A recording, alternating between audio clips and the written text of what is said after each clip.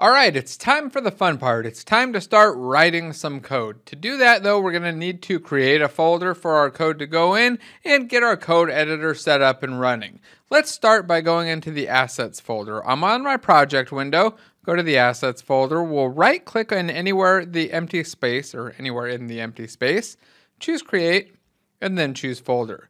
We'll name this folder scripts, S-C-R-I-P-T-S with a capital S there so that it matches the casing of the rest of our project and hit enter. I'll hit enter one more time to go into that folder or just double click on it.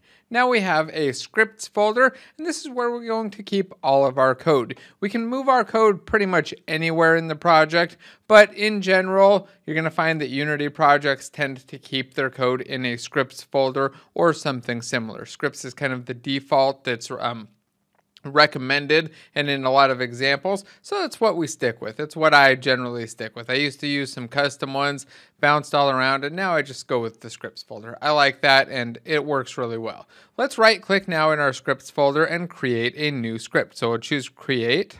And right up here, right below folder, there's a C sharp script option. I'm going to click on it and be very, very careful not to hit anything else. I'll get a new script down there that's named new behavior and it's right now in renaming mode. I don't want to hit anything until I've renamed this script. I'm going to rename it to player with a capital P. So hold shift P and then lowercase l-a-y-e-r and now I've got a player script. I'll hit enter and it's going to actually generate that script. Now the reason that I wanted to be very careful about that is because if you look over here at this script in the inspector, which is not where we'll normally look at scripts, but gives you a nice little preview, it has this part right here where it says public class player. And if I had hit the enter button before and then went back and tried to rename this or something, this would be named whatever the file was when it first went in. So it would have been that uh, new behavior, or I forget what it was called. I think it was new behavior instead of player. And I want this to be player. So now I've got my script here and it's time to work with it and start writing some code.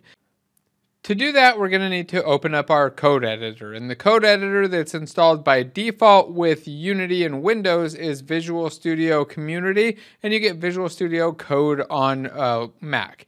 Now, I prefer JetBrains Rider. We'll talk about that code editor a little bit later. I don't want to confuse things though, so for now we're just going to go to Assets and go to Open C Sharp Project. This should open up Visual Studio, and you'll probably get a window that looks something like this if you've never opened up Visual Studio before. First time in, you're going to get this What's New window. I'm going to close that, expand out this assembly part, expand out assets and scripts until I can see my player script. I click on it, and double click it and it should pop right up here and show me my player class. Let's zoom in by holding control and using the mouse wheel. So I hold control and mouse wheel to zoom in or uh, there's a drop down somewhere around here that you can use. Ah, bottom left corner. It moves around. It's at 214% right now.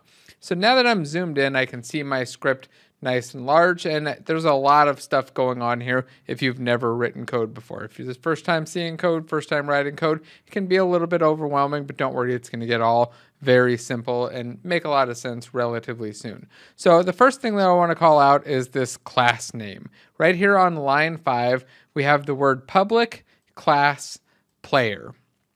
This is the name of our script. This is the thing that we've named it when we created the script, and it's the thing that's going to show up as our component name when we add it to our actual player game object or that alien that we've created.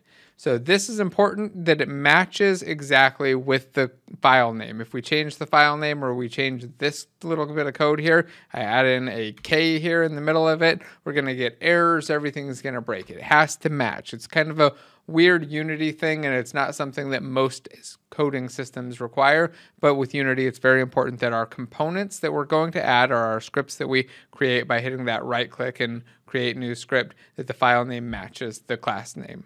So the next part that we have is a colon and the word MonoBehaviour. Now this actually means that our player script or our player class is going to what we call inherit from the MonoBehaviour class.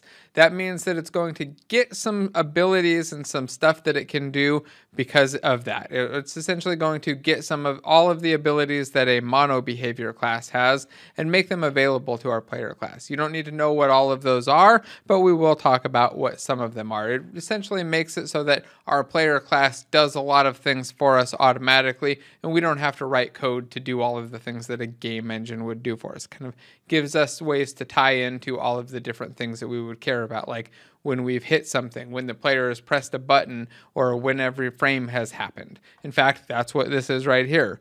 On line 13, you'll see what we have is a comment. You can tell it's a comment because it has two forward slashes and it's colored green.